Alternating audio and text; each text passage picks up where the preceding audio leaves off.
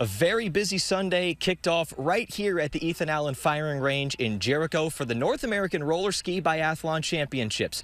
A picture perfect summer morning to start, but right as the men's mass start began, the sun crept out from behind the clouds, making the heat a bit of a factor.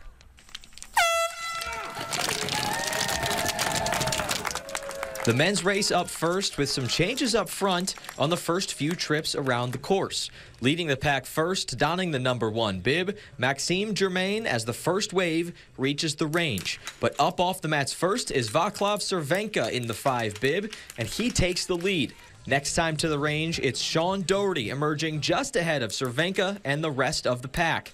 Next lap around, Doherty and Vincent Bonacci in front as they stand and shoot. Bonacci off first, but late in the loop, Doherty takes the lead and it grows into a big one. A perfect five for five on his final trip to the range, creating a big enough gap for him to comfortably cross the line first, 33 seconds ahead of Germain in second. It feels good. It feels good. It was really fun um, to put a really solid race together, and I really enjoyed having some opportunities to go head to head with my other teammates, and. Um, it's it's it's fun. It's a nice sign, you know, to, to here in August after a hard summer's training is has been we've been doing a lot of work, so it's good to see that, that things are going in a in a good direction.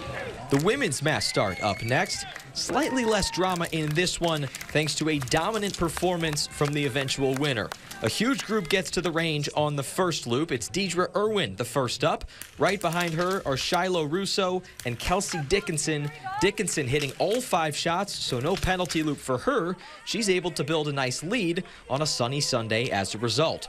Next lap, she's perfect again, and then again, and then again, a flawless 20 for 20 on her shooting and a celebratory fist pump that she more than earned. Now all she has to do is finish the race cleanly, and she sure does. Kelsey Dickinson of Craftsbury Green Racing Project taking first place, just over a minute before Irwin in second, who bounced back nicely from a DQ on Saturday.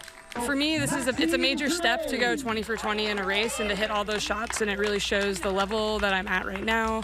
You know, we're still in the training season. We still have a long time until we start racing on snow in November. So I think this, these races are all about checking in with yourself, seeing you know where things are going well, where you still need to improve, um, and then start preparing now for the World Cup season ahead.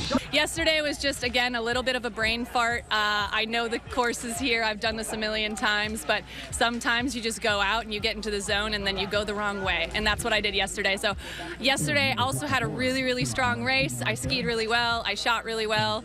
And uh, I was a little bummed to get disqualified. But, you know, starting in the back of the pack was kind of fun today. And it was, uh, it was cool to move my way to the front. It felt more like a World Cup, like what I do in Europe when I'm starting in, you know, number 30 in the mass start. So I had a really fun time the first lap, just kind of skiing alongside all of my um, U.S. teammates and kind of making my way through. So it was a good day for me, even though, you know, I had to kind of crawl my way back to the front.